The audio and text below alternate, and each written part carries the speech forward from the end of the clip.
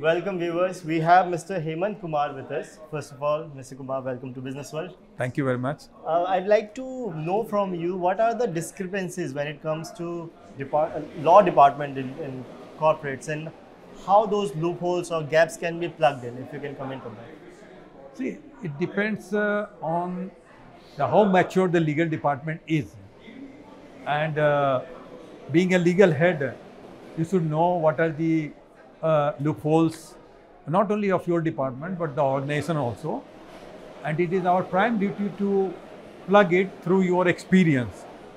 And if you are unable to contribute, you should not shy away of uh, outsourcing those things to the outsider and seek their views because uh, if any leakage is there it, it may cost a huge uh, uh, loss to the organization All right. yeah All right. So uh, you can seek the outside yeah that is the best way That is the best way. Uh, if you have to, uh, you know, describe your experience of the event, what, what is your experience? see let me tell you that uh, mm, it's an excellent uh, uh, event good platform for the gc and uh, since i'm in this profession of gc for the last uh, 38 years uh, there was no such platform for the gc because uh, uh, because people didn't have the complete idea what role gc have been performing for the last uh, more than two three decades and uh, uh, kudos to Dr. Anurag Batra and his team uh, who has uh, uh, created such a beautiful platform. And that platform will indeed motivate the youngster. Of course, seniors are also joining this platform, but youngster also feels elevated that they are coming here, they are listening to the seniors, they are getting award because award, uh, uh, getting an award is also a motivational factor for anybody. So uh, kudos to uh, Dr. Batra. All right. If you have to give our viewers a taste of the evolving role of GCs uh, in today's business scenario, in today's scenario, what, what would you say on that? See, uh, uh, many times I have spoken on this subject. Uh, the role what I have been performing uh, 25 years, 30 years back, that has completely changed. Today, GC is the partner of the business. They are part of the board, and uh, therefore, uh, GC is not only to look into the litigation or merger acquisition, but also ensure the protection to the brand value, protect the overall interest of the board, and also be pro. Uh, I, I think proactive before anything is uh, uh, is taken against the organization.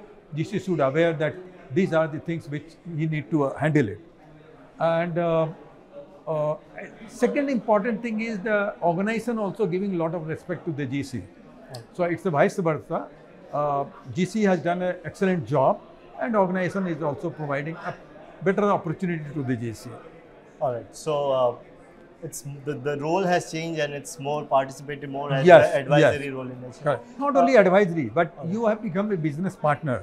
Today you are sitting with the, your uh, board member, you are sitting with the uh, with the with the top management, sharing your views. That suppose if tomorrow you go for the merger, or you are going to acquire something, uh, some company. What are the challenges? How those challenges can you address?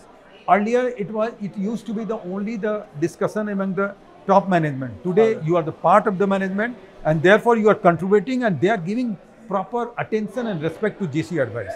So part of the decision making Yes, process, yeah. we can say. Uh, if you have to point out some of the parameters uh, which are taken into consideration while taking a decision, uh, what are those parameters and how much is the accountability falling on GCs on this? See, the most important part for any any any assignment is the roles clarity.